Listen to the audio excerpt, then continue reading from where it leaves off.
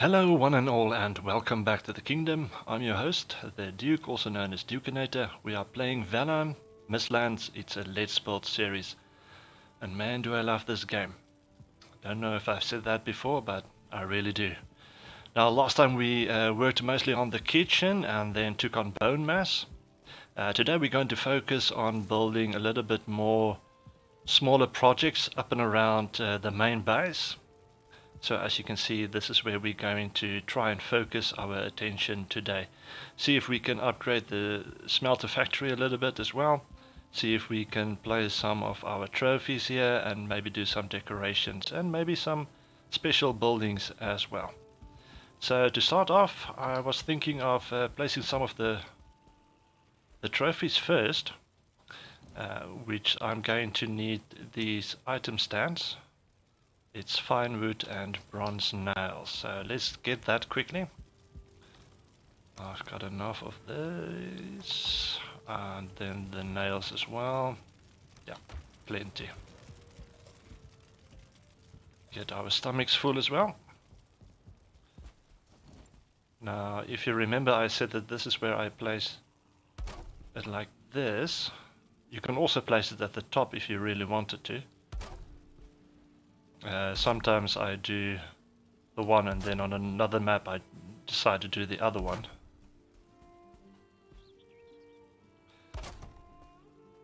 Just like this. Um, now that I see the runestone there at the background, we might actually do something on that side as well. Just try and get them all in the middle. Some of the trophies are fairly big. Um, and for that reason you actually need quite a lot of space in between them uh, just to make sure you get through. I'm thinking about the golem in the mountains. That's a pretty big uh, trophy that sticks out. As well maybe the sea serpent. That's also a big one. So let's see what trophies we can place. I don't think we've got enough place for all the trophies I currently have. But at least it's a start. We go with one with the boar. One with the nectar. And one deer. Yep. Then for the black forest. I'll take these.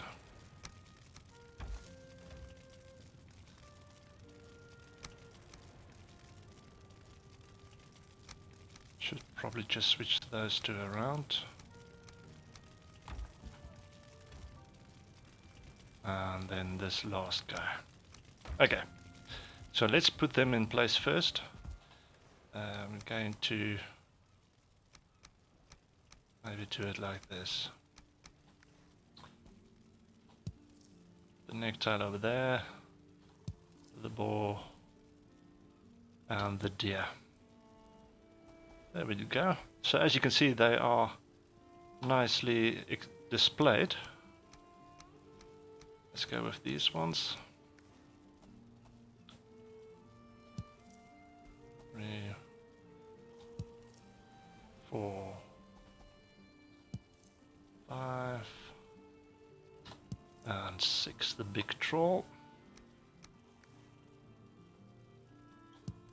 And then the guy with the flower on his head, the brute. Okay, let's see what else we've got. So that was the Black Forest, all of them I think, yes. The swamp. Let's go with this one. That one.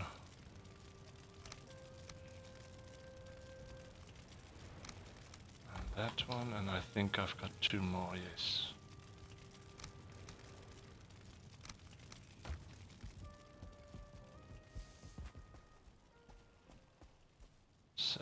This one is up next.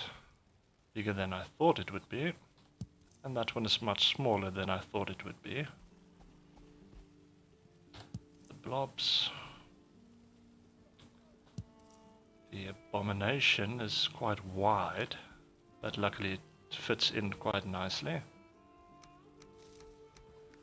And then Surtling and the Elite. Also pretty small, but okay. Let's see for the mountain.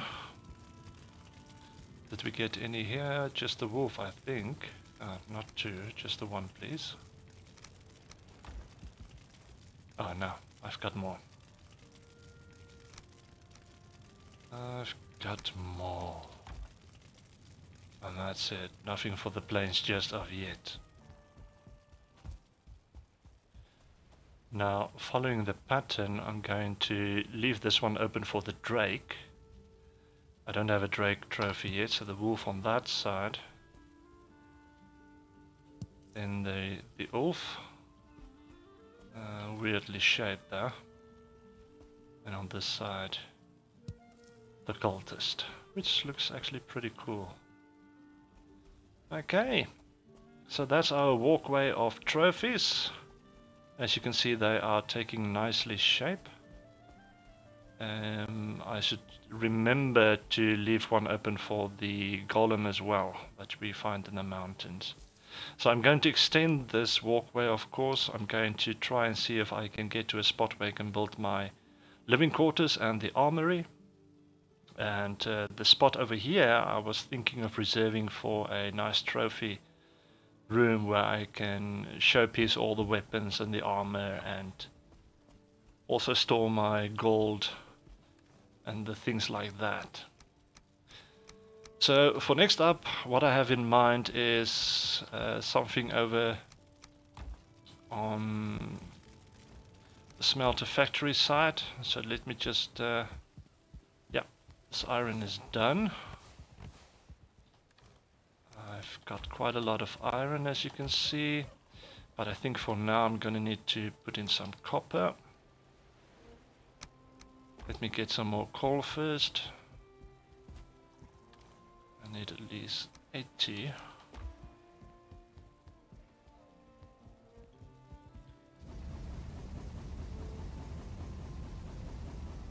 So we can just stack them up like this. Now what I had in mind for the smelter over here was uh, sort of a veranda on the other side of the chests. Over on this side. Um, I've got an idea in my head that I have not uh, tested yet and I want to see if I can actually make it work. Uh, stability is going to maybe be a slight problem um, as I don't want to really put down any pillars along this way. So I was thinking of maybe reinforcing it from over there, uh, putting beams over across.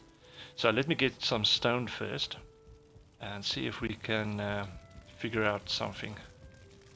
Uh, no stone there.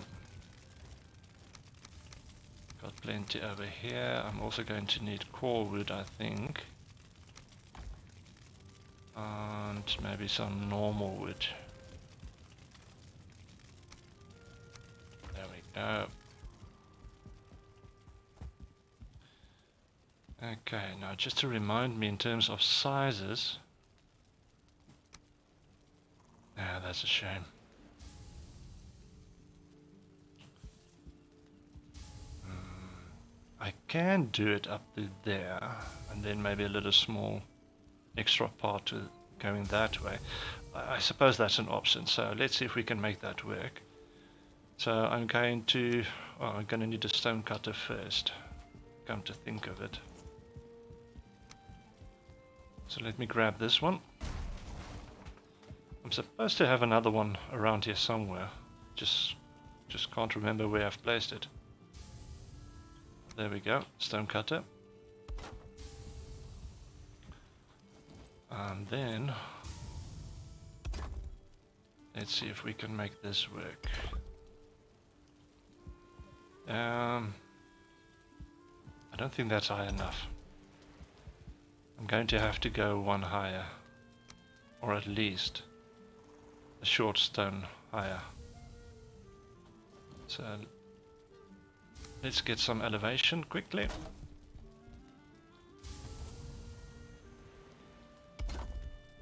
What is the height in terms of the smelters? I think that could work. That looks good. Okay, and then I want to extend these that I've already placed. For stability reasons, of course. Up to there. Uh, preferably I would have maybe wanted to come over to this edge.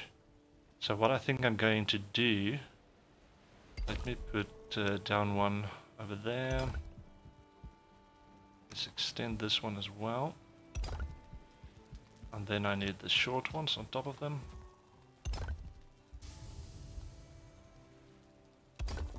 Like so.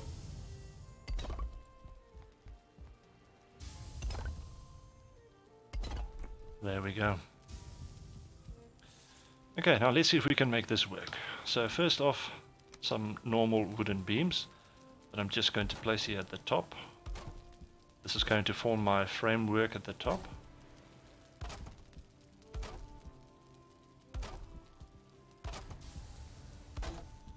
And then this way as well.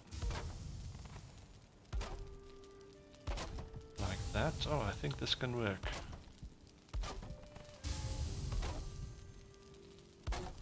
Now to give extra support for these guys, what I was thinking of is... Uh, let's see.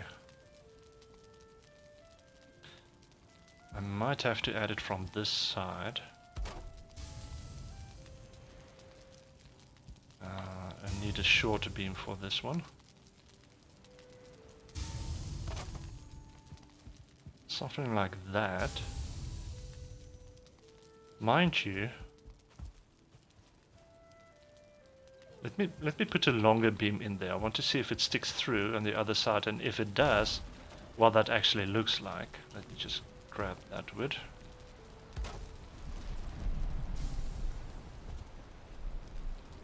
Uh, ever so slightly. And it's not really going to fit in now. Let's do the short one. So break down that one again, get the wood back, and it started raining of course. It usually rains when I'm building, for some other reason. So this one now shows up green, which means it is supported a little bit better, so I'm just going to continue. Like this. Come in over here again. Connect it with the arches at the back, give it more stability that way. And we will continue, think up to there. Yeah, that looks about right. There we go. And then also added stability. And I don't think this one is going to fit. Otherwise what I have to do is maybe go up with this one as well. Uh, need a ladder.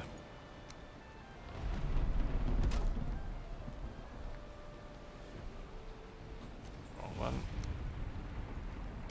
Something like that and then I was thinking of seeing if I can connect this. No, that's not going to work. Let's see where this one will end up. Perfect. Absolutely perfect. Okay, so it seems my framework is going to work. All I need to do now is just add the core wood poles, but uh, as we saw, it's only going to cover the first two, not the third one. So what I need to try and do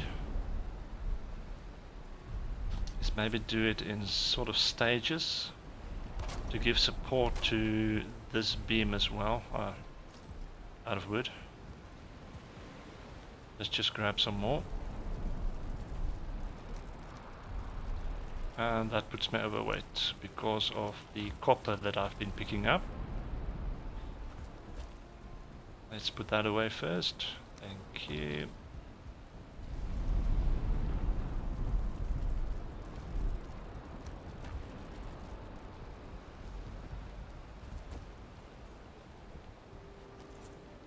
Okay, so let's see how this is going to look. Mm, I don't want it to rest it on top. I want it to be somewhere in the middle. Maybe something like that.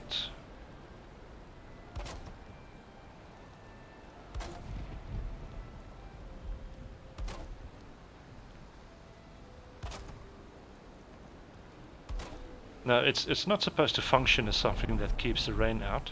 Not at all. Am I going too low now? Yeah. Those ones are higher. I need to keep it consistent, please.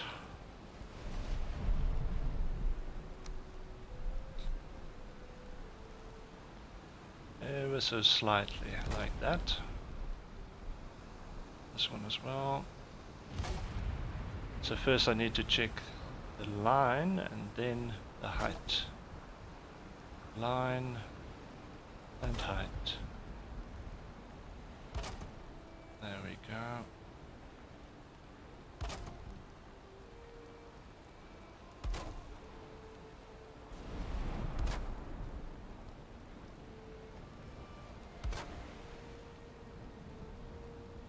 Just like that, and I'm going to take this right through to the side.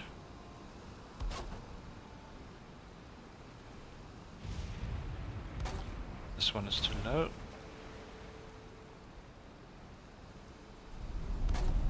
That's better.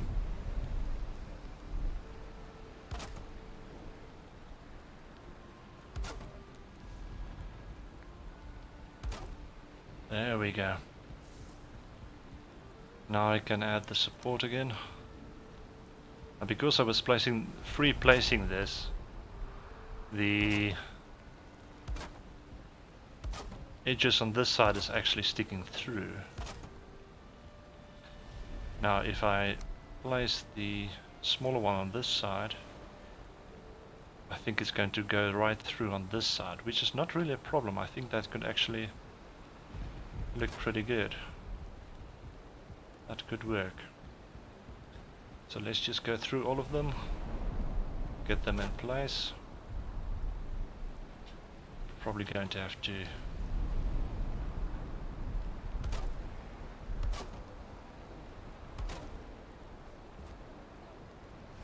Well, this is awkward. Come on, where are you? Thank you.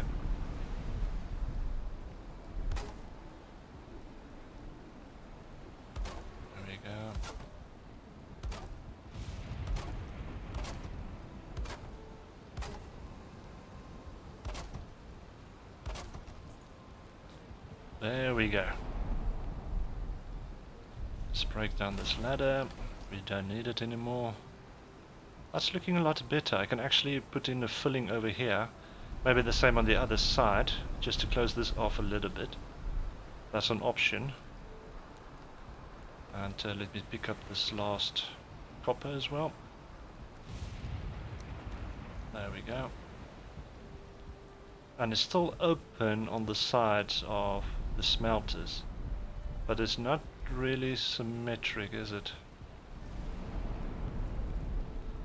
Okay, I don't need extra wooden beams in here, but I'm going to place them in, in anyway. I just want it to look a little bit more symmetric in terms of the building.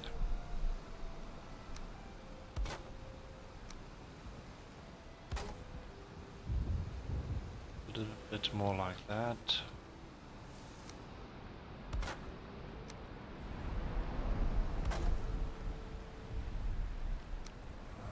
Same over here. And then on this side,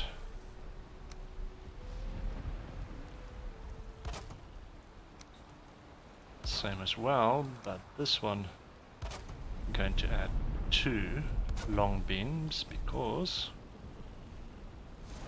we are adding on top to the right to the back for this one. There we go. Yeah, that's looking a lot better. I am liking this. Okay. This is a lot more functional in terms of looks. That is still open, so the smoke can get through. I can even, if I wanted to, close this these gaps over here in between. But uh, let me think about that for a little bit longer. I'm not sure if I'm going to do that now. Um, I might try it later to see how it looks and then I can make a decision about that. Maybe I should copy the other side, but that means I'll have to put uh, down a, a pillar of beams uh, up here, which I don't really want to do. So let's leave that for now. And let's go on over to the runestone. And let's do something about this little space over here. Let's move this workbench out of the way. And let's see, we can al always try the crosses first. Let's see if that works.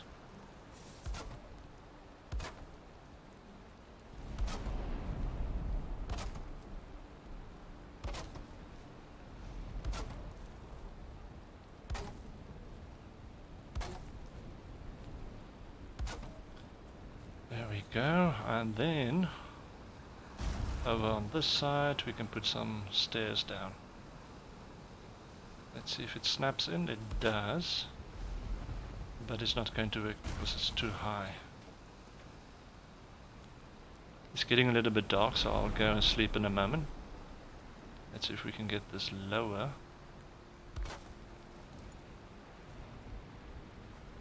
Not sure if this is low enough. On this side I probably have to repeat it. Like that.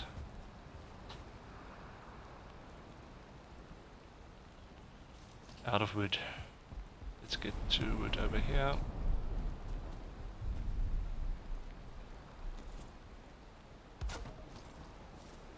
Yeah, that's good. Okay, almost like a secret garden that we can create over on this side. So what I'm going to do is just going to head back to my starter base so I can get a good night's sleep and then we will continue in the morning. Okay, welcome back. This is the next morning. I hope you've got a nice cup of coffee or hot tea to keep you company. And uh, we're not going to finish this off completely yet because uh, this place is still going to expand that way and I'm not sure what is going to be in that spot. So as soon as we do that we can then complete this one. Um, I was actually thinking of maybe building the wisp fountains here as well that you get with the mistlands. So that's maybe something that we can look into. But for now let me just put down some bench, benches and um, I wonder which ways this is looking too far. Ah, okay, it's looking the right way, at least. So let me just break that one down and see where I can place it. Got one there. One over there. And a third one over there. Okay, and what I want to do is level the ground a little bit. Might have to replace my benches now that I think of it. After after that. Let's eat something as well. Okay. On to the next project. Um, this one is going to be a little bit longer, I think. I wanted to do this wall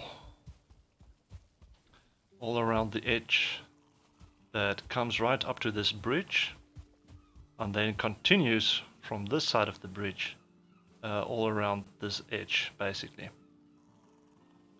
Um, that's the one thing I wanted to do. I also wanted to see if I can build a not sure what to call it maybe a Chinese veranda over here in the middle and then see if I can get a little bit of garden around it. As soon as the, the, the wall is uh, finished, then I can take down these palisades. Um, for this I'm going to give you a time lapse because it's going to take a little bit longer. So yeah, sit back and enjoy.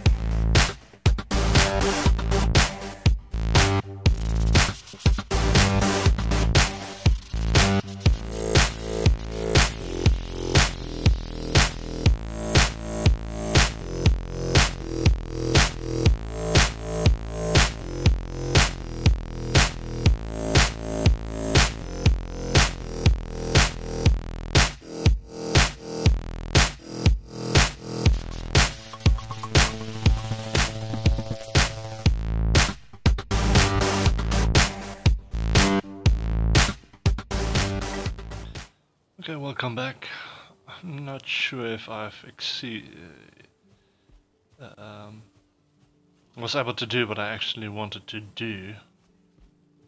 It, it looks so, so weird. The top part looks heavy, too big for the bottom part. Um, I couldn't really get the circle going around there, the middle. So I'm wondering if this uh,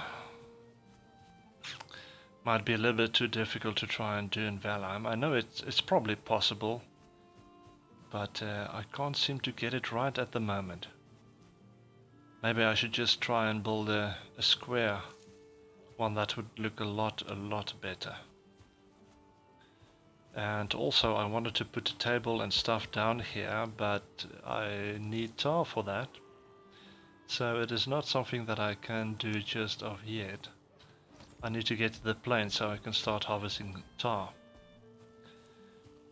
But that's that part. Um, I haven't gotten around to the wall yet. I've run out of time basically. I wasted too much time on trying to get that thing right. But we did uh, get up some trophies today. We also started um, putting down some things around this rune stone to make it look a little bit better. Uh, I might change it up a little bit more depending on what happens on the other side, we'll see.